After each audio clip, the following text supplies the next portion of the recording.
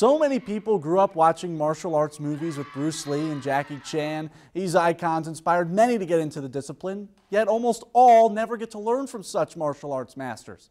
Well, that changed earlier this month in Montana.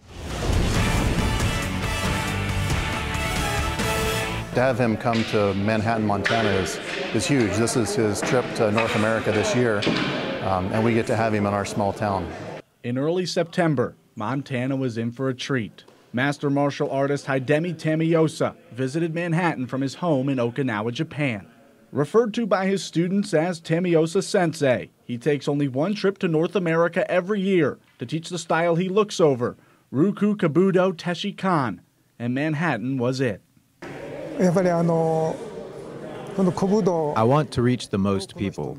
There are a lot of people studying this style, and I want to directly be able to reach as many people as possible. To teach the various techniques and basics, it's better to learn directly from a master. Ryukyu Kobudo Tesshinkan is a style of Okinawan weapons. There are over 7.5 billion people on this planet, and he is the sole 10th degree black belt. There's only one master, and he's it. He is an amazing teacher. Um, so even though he's the top of our style, um, he's a very humble man.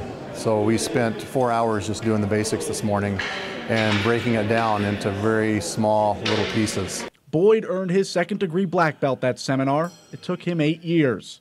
To put that into perspective, Tamayose Sensei has been practicing this style for five decades.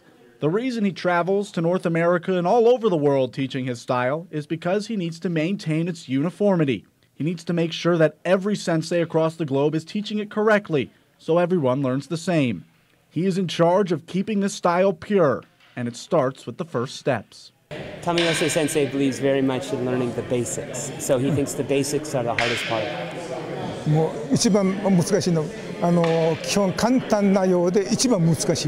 Yeah, keeping it, doing it in the simplest possible way, but doing it correctly is the most difficult part of doing the basics.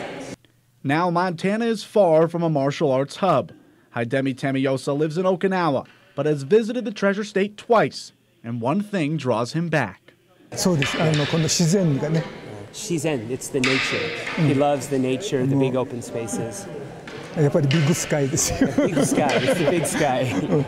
In Japan, Tamayose Sensei is a retired high school metal shop teacher, a regular profession, along with being the world's only master in a martial arts style and that is a testament to his belief that anyone can learn Ryukyu Kobudo Tesshinkan. It's not so much the age that matters, but having the heart, the spirit of wanting to try is what's most important to me.